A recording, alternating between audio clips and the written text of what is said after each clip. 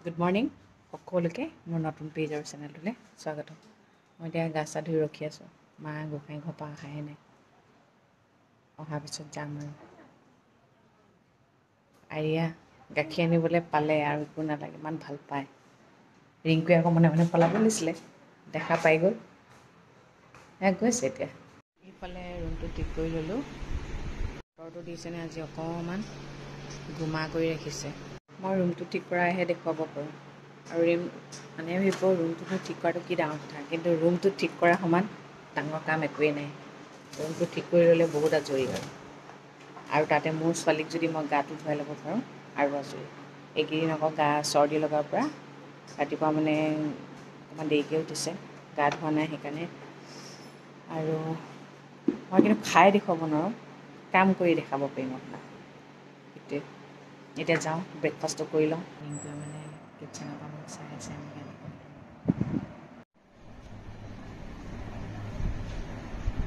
এয়া মিলাই আছে আমাক আজি ভেজ চেণ্ডউইচ খুৱাব ৰিংকুৱে এগৰাকীয়ে কৈছে তুমিতো কাম নকৰাই ৰিংকুৱেহে কাম কৰে ৰিংকুৱে বনাই দিয়া তুমি খা খোৱা আৰু খোৱা হয় নেকি উফৰা তেওঁ আজি মোৰ ঘৰত দূৰবীণ এটা লগাই থৈছে আজিহে গম পালোঁ আমাৰ এৰিয়াত তেওঁৱে ডাঙৰ কৰিছে। মোৰ ঘৰৰ কাম সকলো তেওঁৱে কৰে ৰুমৰ কামবোৰ।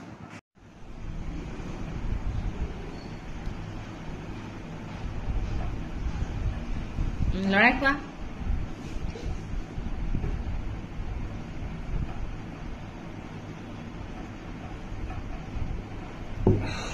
এইফালে আজি আমাৰ ব্ৰেকফাষ্টত আছে ভেজ চেণ্ডউইচ ইয়াত দিছে আপোনাৰ পিঁয়াজ বিলাহী মেয়নিজ আৰু চীজ দিছে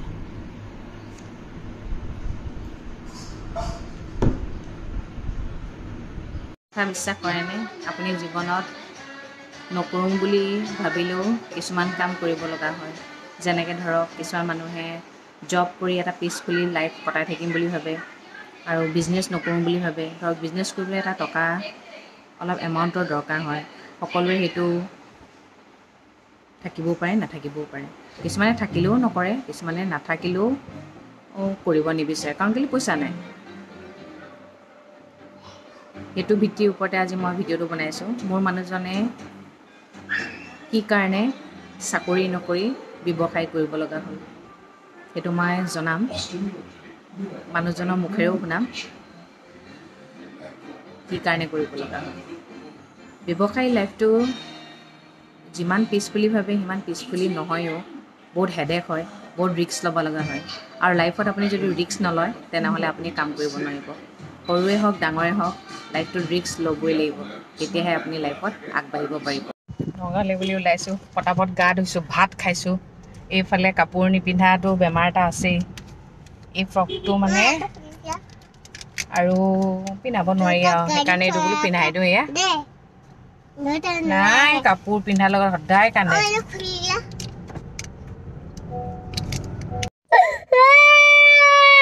মানে গাড়ীখনৰ পৰা ওলাই যাবই কোচত ল'ব লাগে দুই আগষ্টতে বাছখন দিয়া আমাৰ মানে বহুত লেটেই কৰি পেলালে তেওঁলোকে বাছখন বনাই দিয়াত সেইটো কাৰণে আজি যাওঁ আজি গৈ পিনে মানে তাত ফটো চটোবোৰ এই কিবা কিবি ফটো আনি থৈছে। সেইবোৰ ফটো লৈ লোৱা হৈছে। বাছখনত লগাবলৈ আৰু এতিয়া চাকি ধূপ জ্বলাবৰ কাৰণে থাল কিনিব গৈছে। একেবাৰে ফিক্স কৰি লগাই দিব আৰু তাতে। অহা সোমবাৰলৈ মানে বস্তু গাড়ী বাছখন আনিম আৰু। নহ'লে নহ'ব যে। অহা সোমবাৰ লাগিবই মানে। পূজাত বাছখন লাগিব ন। নহ'লে আৰু তাতে বনাই থাকিলে কেনেকৈ হ'ব? ৰ'বা ৰ'বা। কথা এটা সুধোঁ হা। তুমি এই জব কৰিম বুলি ভাবি আছিলা নে এই বিজনেছ কৰিম বুলি ভাবি আছিলা? জব জব হয় নাই? তুমি কি লাইন পঢ়ি আছিলা? বেংগলোৰ? মেকানিকেল ইঞ্জিনিয়াৰিং অঁ, তুমি মানে তেনেহ'লে ইঞ্জিনিয়াৰ হ'লাহেঁতেন আৰু, হয়নে মোৰ মাহিন্দ্ৰা এণ্ড মাহিন্দ্ৰা প্লেচমেণ্টে হৈ গৈছিলে। হয় নেকি? মাহিন্দ্ৰা এণ্ড মাহিন্দ্ৰা পুনেত। উম, ইয়াতে মই কথা এটা কওঁ। তেওঁ ইঞ্জিনিয়াৰ হ'ম বুলি পঢ়িছিলে আৰু জবো হৈ গৈছিলে অলৰেডি আৰু দেউতাও মানে ব্য- ব্যৱসায় কৰিছিলে যিহেতু। দেউতাই কিন্তু কেতিয়াও ভবা নাছিলে পুতেকে যে ব্যৱসায় কৰিব বুলি। আৰু কিমান কষ্ট সেইটো তেওঁ জানে দেউতাই জানে। সেইটো কাৰণে দেউ দেউতাই মানে ল'ৰাটোক যি পঢ়িব মন কৰিছে তাকে পঢ়িবলৈ দিছে। কিন্তু সময় পৰিস্থিতি দাস বোলে। কিন্তু সময় এনেকুৱা হৈ গ'ল দেউতাৰ গা বেয়া হৈ গ'ল। ন চনত মই অ। ইঞ্জিনিয়াৰিং ছেকেণ্ড ইয়েৰত মোৰ। টু থাউজেণ্ড নাইনত দেউতাৰ মানে লাহেকৈ হুইল চেয়াৰ ল'ব লগা হৈ গ'ল আৰু। দেউতাৰ লগত বহুত ট্ৰিটমেণ্ট কৰিলে কিন্তু তেওঁ হুইল চেয়াৰৰ পৰা উঠিব নোৱাৰিলে অপেন চাৰ্জাৰী কৰাৰ কাৰণে নোৱাৰা হ'ল। অপেন চাৰ্জাৰী কেতিয়াও নাৰ্ভৰ বেমাৰ হ'লে স্পাইনেল কৰ্ডৰ বিশেষকে। লগত যেতিয়া প্ৰব্লেম হয়। স্পাইনেল কৰ্ডতহে হৈছিলে প্ৰব্লেমটো তাকো এইটো দেউতা পাহাৰৰ পৰা পৰিছিলে গাড়ী এক্সিডেণ্ট হৈছিলে সেইবোৰ হৈ পেলাই ইনজিয়ৰ্ড হৈ পিছত হ'লগে মানে। স্পাইনেল কৰ্ডত যেতিয়া নাৰ্ভাছ চিষ্টেমৰ যদি তাৰপিছত দেউতাক অপাৰেশ্যন কৰি দিয়াৰ কাৰণেহে দেউতাৰ মানে এনেকুৱা অৱস্থা হ'ল। মানে। হুইল চেয়াৰতে বহি থাকিব লগা হ'ল তাৰপিছত মানে কি হ'ল দেউতা ঢুকোৱাৰ পিছত তুমি ঘৰলৈ আহিছা নে দেউতা দেউতাই যেতিয়া বেমাৰটো ষ্টাৰ্ট হৈ গ'ল ন? বেমাৰ হৈছে টু থাউজেণ্ড এইটৰ প্ৰথম এপ্ৰিলত হৈছিলে ন? এবাৰ পৰি গৈছিলে বজাৰ কৰি থাকোঁতে। তাৰপিছত টু থাউজেণ্ড এইট ছেপ্টেম্বৰত আকৌ ছেকেণ্ড টাইম আমি ঘৰত থাকোঁতে হ'ল। তাৰপৰা গুৱাহাটীত দেখালে ন টু থাউজেণ্ড এইট ডিচেম্বৰত তাৰপৰা টু থাউজেণ্ড নাইনত দেউতা অঁ খুব মানে টু থাউজেণ্ড নাইনত দেউতা তেনেকৈ গাড়ী কিবা কাম কৰে আহি ঘৰত আহিছিলে ন। তো খুব মানে আমাৰ বাছৰ ড্ৰাইভাৰ এটা আছিলে। সি মানে মানুহ এটা লৈ আহি খুব মালিচ কৰাই দিলে। মালিচ সেইদিনাখন বোলে টু থাউজেণ্ড নাইনৰ শিৱ পূজা আছিলে সেইদিনা। সেইদিনা দেউতা আহিলে আহি পেলাই পিছদিনা ৰাতিপুৱা ইমানেই মালিচ কৰিলে দেউতা উঠিব নোৱাৰা হৈ থাকিলে। তোমাৰ। তাৰপিছত তেনেকেইতো দাঙি মেলি তেনেকেহে লৈ গৈছে উম। আৰু মানে কি দেউতাও বিচৰা নাছিলে পুতেকে যে ব্যৱসায় কৰক বুলি। ব্যৱসায় লাইনটো আৰু ইমান আলাসত ৰখা ল'ৰা আৰু ঘৰৰ একমাত্ৰ ল'ৰা ভগৱানৰ কৃপাত মানে ল'ৰা এটা পাইছে। সেইকাৰণে মানে বহুত বেছি মৰম কৰে। ছোৱালী দুজনীৰ পিছত ল'ৰাটো। আৰু ছোৱালীকেইজনীক তই বুলি ক'লেও তাক বোলে তই বুলি নকয় তুমি কি আছিলে? ইমান আলাসত ডাঙৰ কৰিছিলে। কিন্তু তথাপিও দেউতাই যেনেকৈ ব্যৱসায় কৰিছিলে পুতেকে তেনেকৈ কৰিব পৰা নাই। কিয়নো আৰাম আৰামকৈ তেওঁৰ পইচা বেলেগে হাৰাম কৰি আছে মানে পাইছে? কিন্তু আৰিয়া হোৱাৰ পৰা অকণমান মানুহটো চেঞ্জ হৈছে আৰু। এতিয়া মানে ব্যৱসায় কেনেকৈ কি হয় মানে মানে আমাক মানে লুটি লুটি খাই আছে মানে তেনেকুৱা টাইপৰ আমাৰ চলি আছে মানে। মানুহজনে তথাপিও মানে গাড়ীৰ মানুহক ইমানেই বিশ্বাস কৰে যি দিয়ে তাতে বিশ্বাস কৰি থৈ দিয়ে। কিন্তু পিছত লোকৰ পৰা শুনা পায়। কিন্তু এনেকৈ জানো ব্যৱসায় চলিব। তাকে কৈছোঁ ব্যৱসায় কৰিবলৈ হ'লে পূৰা ব্যৱসায় নিচিনা কৰা। গম পাইছেনে? নহ'লেতো নহ'ব। আমাৰ মানে এতিয়া ভাড়াঘৰ আছে বুলিহে। ভাড়াঘৰৰ পইচাও মানে আমি বাছত লগাব লগা হৈ যায় মানে। এযোৰ টায়াৰ দাম ফিফটি টু থাউজেণ্ড ন? ফিফটি থাউজেণ্ড ফিফটি থাউজেণ্ড তেনেহ'লে ভাবক না। মানে বাছে পইচা নিদিয়ে বুলি নকওঁ পইচা যথেষ্ট দিয়ে।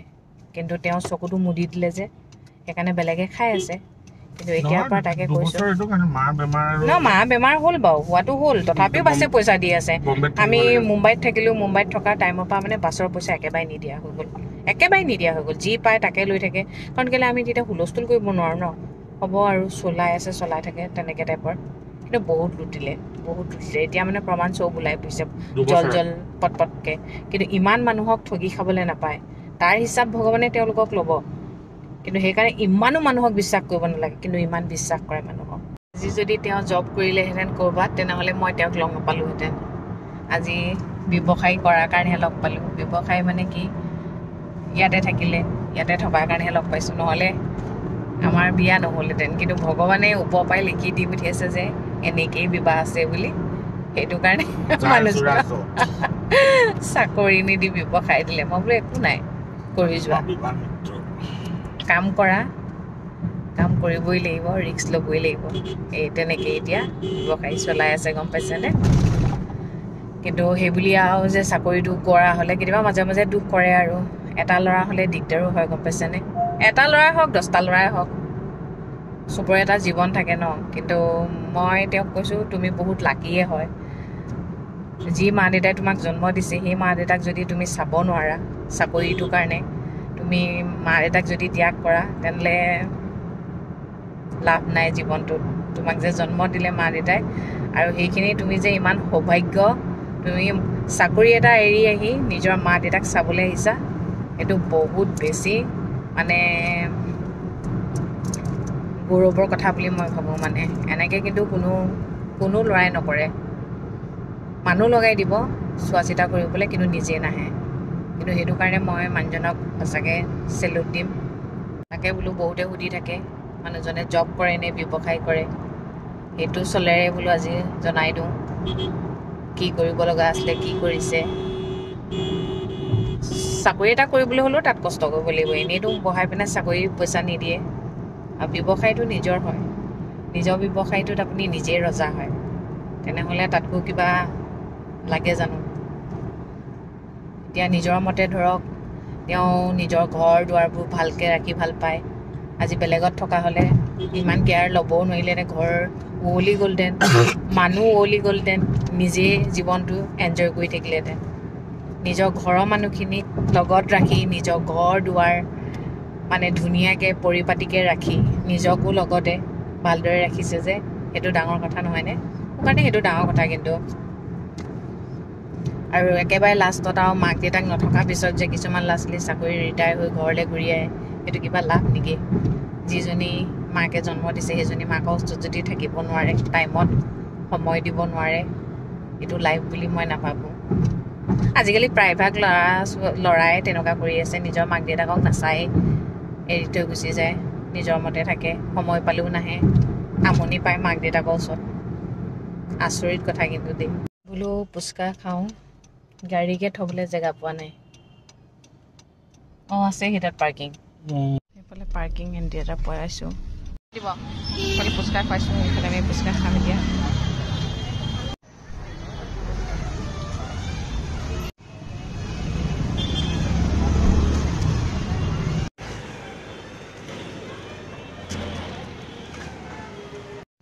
প্লেট দুই প্লেট পুচকা খাই দিলোঁ। এফালে আকৌ আমাৰ ছোৱালীক বোলে চিপছ লাগে এক পেকেট কিনি দিলোঁ আৰু সৰু পেকেট এটা। এতিয়া খাই লৈ আৰু উভতি গৈ আছোঁ আৰু। এইফালে তামোল ওলাইছে তামোল ল'বলৈ সোমালোঁ। এক পোন তামোল ল'ব এতিয়া। কৈ আছিল ন মানুহৰ মানুহজনৰ। দুহেজাৰ এঘাৰ চনৰ পৰা তেওঁ ব্যৱসায়ত লাগি গ'ল আৰু। দুহেজাৰ এঘাৰ চনত তেওঁৰ চৌবিছ বছৰ বয়স। চৌবিছ বছৰৰ পৰা লাগি গ'ল আৰু। লাগি লাগি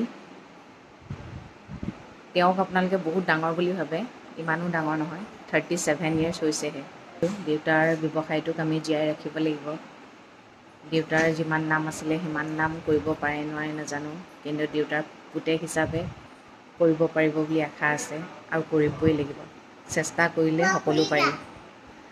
আৰু মানুহজনৰ এটাই ভাল গুণ কি জানে? এটা গুণ বুলিয়ে নহয় বহুত ভাল গুণ আছে। মানে কি কৰিম বুলি লোৱা কামটো কিন্তু কৰিবই বাই হোক বাইক হোক কিন্তু বিয়া পতাৰ পিছৰ পৰাহে লাইফটো মানে কি হৈছে কি কৰিব লাগে কি কৰিব নালাগে তেওঁ গম পাইছে। আগতে মানে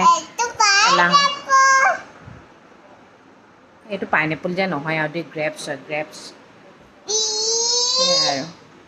বাকী মইতো আছোঁৱেই তেওঁৰ পিছত তেওঁক মই পুছ কৰিবলৈ। দেউতাও বিচাৰিছিলে ল'ৰাটোৱে ভালকৈ পঢ়ি শুনি চাকৰি কৰক আৰামত থাকক কিন্তু সময়ে মানুহক কলৈ ন? পৰিস্থিতিত পৰি এতিয়া দেউতাকৰ কাম চাবলৈ অহা হ'ল। এতিয়া ব্যৱসায়তে লাগিলে আৰু উপায় নাই। হ'ব আৰু তেওঁৰ নচিবত এইটোৱে আছিলে। আৰু তাতোতকৈ ডাঙৰ কথা মই কৈছোৱে নহয় মাক দেউতাকক যে ইমানখিনি কেয়াৰ ল'ব পাৰিছে। আজিকালি ল'ৰাই ল'ব জানো মাক দেউতাকৰ প্ৰব্লেম বুলি ক'লে পলাবই তেনেকুৱা মানুহে আছে পৃথিৱীত। মই সেইকাৰণে তেওঁক কৈছোঁ তুমি বহুত লাকি হয়। তুমি যে তোমাৰ দেউ দেউতাক চাব পাৰিছা ইমান কেয়াৰ ল'ব পাৰিলা। সেইকাৰণে যিমানেই বেয়া পৰিস্থিতি নহওক তোমাক দেউতাই চাবই ওপৰৰ পৰা। সেই হিচাপে লাগি গৈ আছে। এতিয়া দেউতাকে নিজৰ ল'ৰা ছোৱালীৰ কাৰণে লাগিছিলে এতিয়া দেউতাকে নিজৰ জীয়েকৰ কাৰণে লাগিছে। লাগিবই লাগিব হয় নহয়? তেতিয়াহে হ'ব।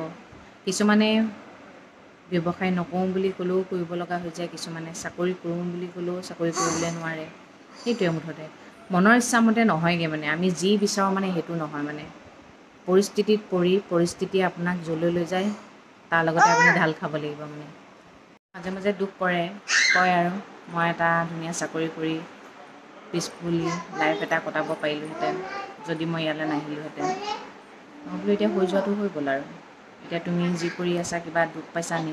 নহয় যেতিয়া মানে অকণমান প্ৰব্লেম চলি যায় মানে ইমান মাথা মাৰিব লাগে মাথা মাৰিও কাম নহয় যে। ওপৰৰ পৰা পাহাৰবোৰ দেখিবলৈ বৰ মিহি গম পাইছেনে? কিন্তু ওচৰলৈ আহিলেহে গম পাব খলা বমা কিমান আছে। একো নাই প্ৰতিটো পৰিস্থিতিয়ে আমি সন্মুখীন হ'ব পাৰিম। তাৰ কাৰণে কিন্তু একতাটো লাগিব। তাৰ কাৰণে আমি প্ৰত্যেকে মানে ঘৰৰ মানুহকেইটা প্ৰত্যেকে প্ৰত্যেকৰ সহযোগ দিব লাগিব। হয় নহয়? বিপদে আপদে লগ দিব লাগিব। তেতিয়া প্ৰতিটো প্ৰব্লেম ছল্ভ হ'ব। সেইটোৱে কথা। মানুহজনে চাকৰি নকৰি কিয় ব্যৱসায় কৰিব লাগিব? আৰু ভালেই হৈছে দিয়ক। আৰু আমিও লগ পালোঁ তেনেকেই।